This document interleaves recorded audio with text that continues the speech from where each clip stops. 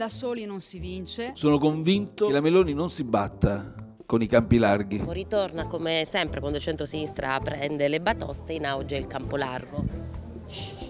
Sì, queste sono soluzioni facili secondo me a problemi difficili. Conte riunisce i suoi parlamentari per analizzare il voto delle amministrative. Campo largo sì o no? Non ragioneremo mai nell'ottica di unire i partiti per una sommatoria di voti, perché poi lo vediamo che è quello che succede, no? Guardi il centrodestra. Il centrodestra funziona? Ma secondo lei funziona? Funziona per vincere le elezioni perché si mettono insieme e funzionano solo le elezioni. Però... I 5 Stelle si fanno corteggiare sempre ma dicono sempre Siamo, di no. penso sempre forti delle nostre idee, delle nostre azioni. Le prossime europee eh, perderete così amaramente come non penso, non penso nel modo più assoluto. Modo... Non c'è stato l'effetto Schlein, non ha premiato nemmeno il PD. Però dobbiamo anche, secondo me, uscire dalla logica di sorprendere l'elettorato con effetti speciali, fare progetti seri e misurarci su quelli. L'effetto Conte si è visto. Alle politiche l'abbiamo visto bene. E alle europee?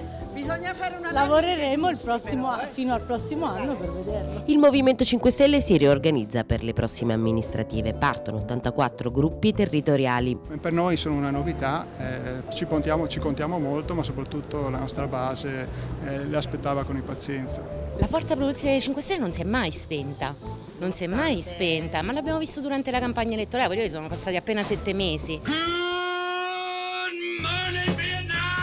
Qua a occupare la giunta per le elezioni eh, di Montecitorio eh, perché si sta compiendo quello che noi riteniamo un furto di democrazia. Nel tardo pomeriggio i pentastellati occupano la giunta per le elezioni contro l'emendamento del forzista Pittalis che vuole il riconteggio delle schede nulle in un collegio in Calabria. Non si pensa qui dentro a come buttare fuori dei parlamentari regolarmente eletti. Si metterà in moto il meccanismo flipper, quindi parliamo di almeno 20-30 deputati che potrebbero vedersi tolto il seggio. Da Occupai Tetto contro la riforma costituzionale di Renzi a Occupy Giunta.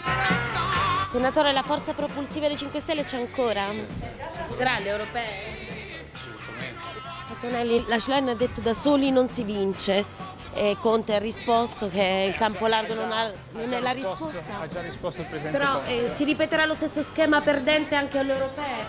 Le europee fino a prova contraria sono un voto proporzionale secco sulla singola lista, quindi anche i partiti di centrodestra immagino andranno divisi alle europee. Io credo che non sia il campo largo, la mucchiata a far vincere un'elezione, sia un progetto, si va anche a cicli, ora è un momento in cui il centrodestra ha il vento in poppa. Alle prossime amministrative sarete più attrezzati? Grazie, noi siamo sempre innovativi, grazie, buonasera. La forza propulsiva dei 5 Stelle non si è spenta, l'effetto Conte diciamo, si parla di effetto Schlein. Grazie.